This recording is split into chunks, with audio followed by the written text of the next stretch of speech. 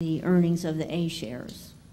Could you just Yeah, explain? it, it won't, it won't dilute the, it won't dilute the earnings or value of the A shares as long as we use the money reasonably effectively that is produced. Uh, as I mentioned earlier, you'll- if, if it happens to be 1%, you'll own 1% less of all these other things. On the other hand, we'll have a, close to $400 million more of cash. So it, it, it, it, it, it will not, in our view, it will not dilute the value of the, of the A.